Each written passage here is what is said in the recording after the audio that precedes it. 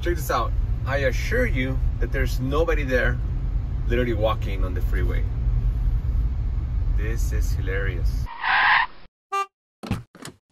Hey guys, hi, how are you? In this video, we're gonna talk about my recent trip to Las Vegas in my Tesla Model Y.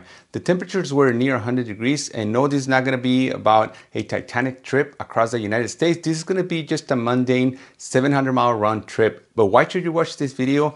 Because I think that the likelihood of you engaging on a similar road trip is uh, more likely than you driving an EV across the United States. That's exactly what I plan to do next month is to drive our Model Y from California to Florida.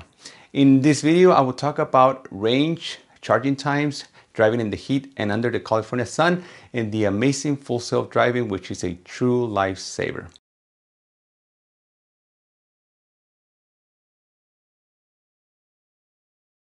But let me give you the choices I had for my trip. The first choice was to fly. A round trip ticket from San Diego to Las Vegas was $85 and the flight time is only about a, uh, an hour and 15 minutes, but it takes about four hours to go to, from door to door.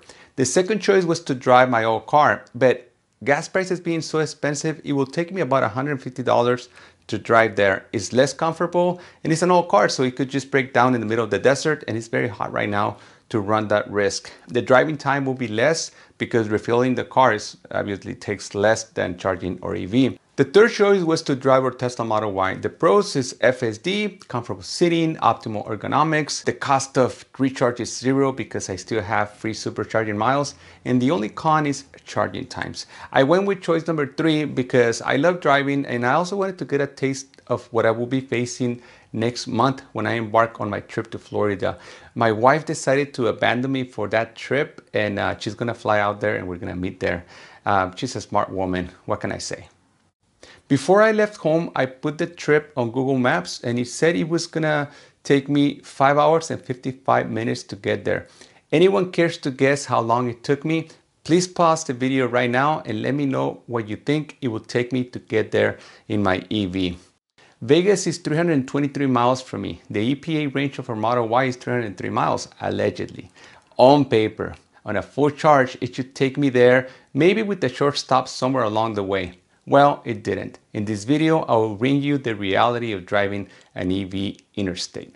Let's go with what Tesla does right. When you punch in a destination on the navigation system, the trip planner will project where you need to stop to recharge to safely make it to your destination. Navigate to Vdara, Las Vegas. The integration is seamless, the stops are mapped out for you, and all you have to do is trust the system. But can you really trust the system?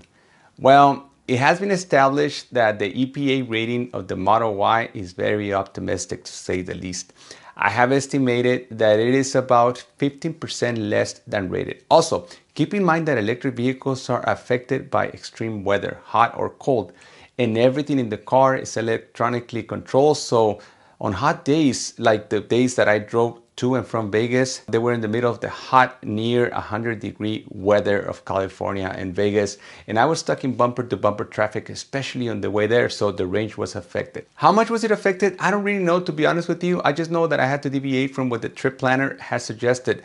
The first stop I made was at a supercharger in San Bernardino, California, and only 103 miles away from home. Right now, I'm in the middle of something called Inland Center. I think this is San Bernardino, California, and I've been driving for three hours. You know, traffic is really bad, and I still have another.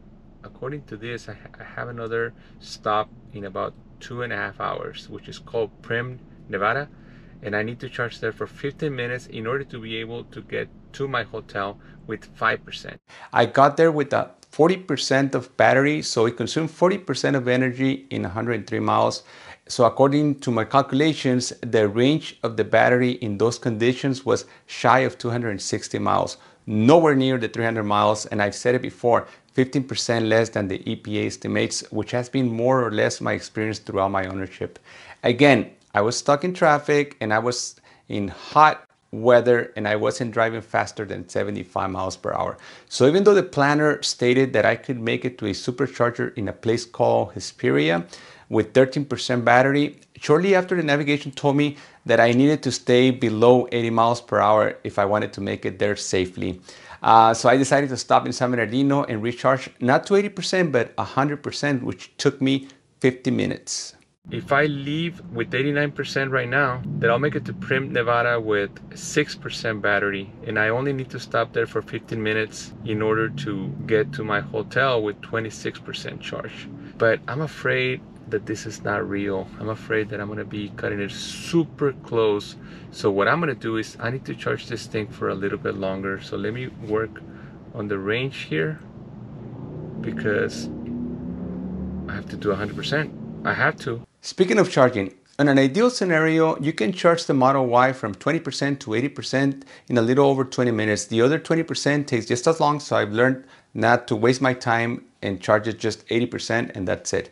The problem with this way of charging is that in real life, that will give you about 182 miles minus the 50% that we talked about, gives you about 155 miles of range before you have to stop again. It gets a little bit more complicated than that because it's not like the Tesla supercharging stations are everywhere along the freeway. That's where the trip planner comes in handy because it arranges these stops for you in the most efficient and convenient way it possibly can. Unfortunately, it doesn't account for the range discrepancy and you're left wondering if you're gonna make it to your next stop.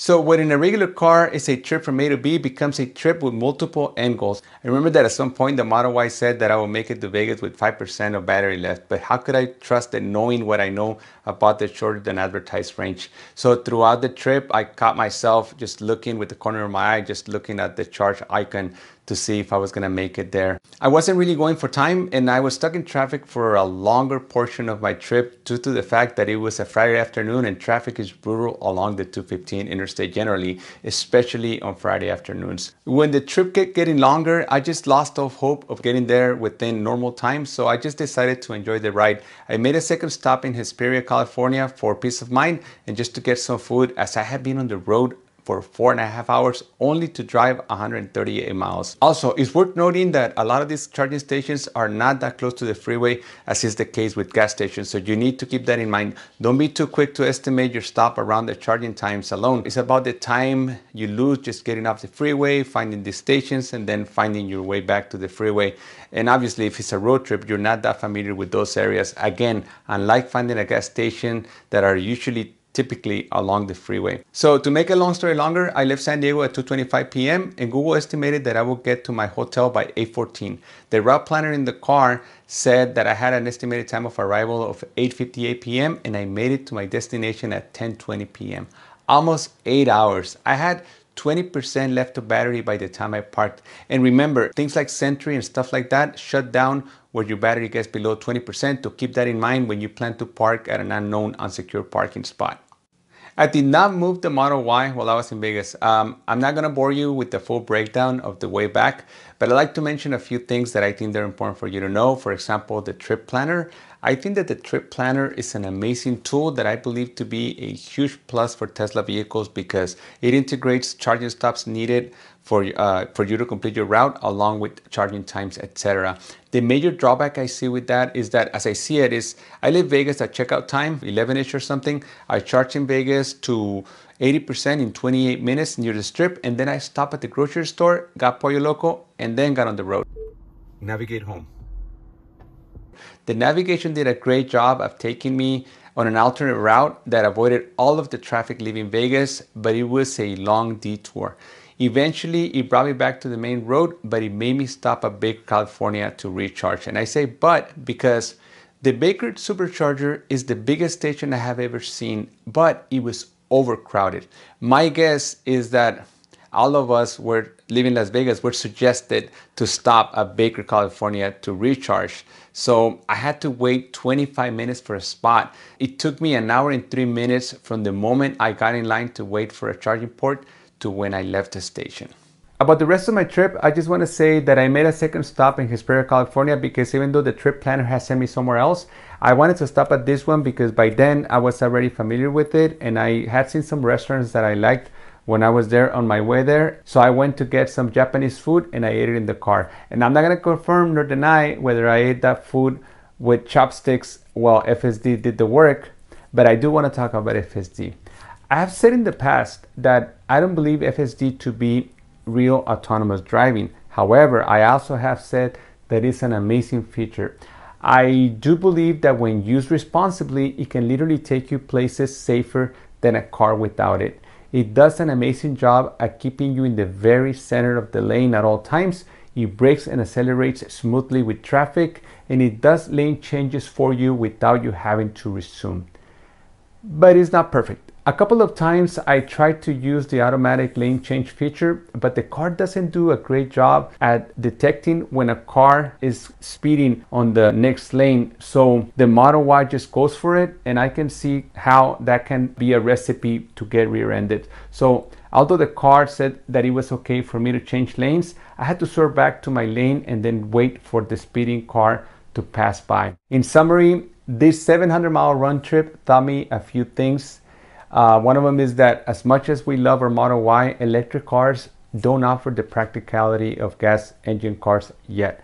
Road trips, they're doable, yes, but do keep in mind that it will take you a lot more to get there, especially the longer the trip gets. In this case, it took me about 25% longer than if I had driven my gas car. Americans love automobiles and we also love road trips and EVs are not yet at the level of being a practical alternative to gas engine cars.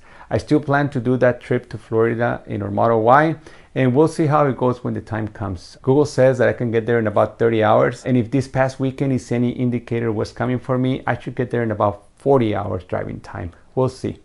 I'm thankful for how comfortable the seats are, the in-cabin entertainment, the visibility, the sitting position, and of course, FSD. Because without those things, these 8 hour plus drives would have been unbearable. Thank you for watching, and I'll see you next time.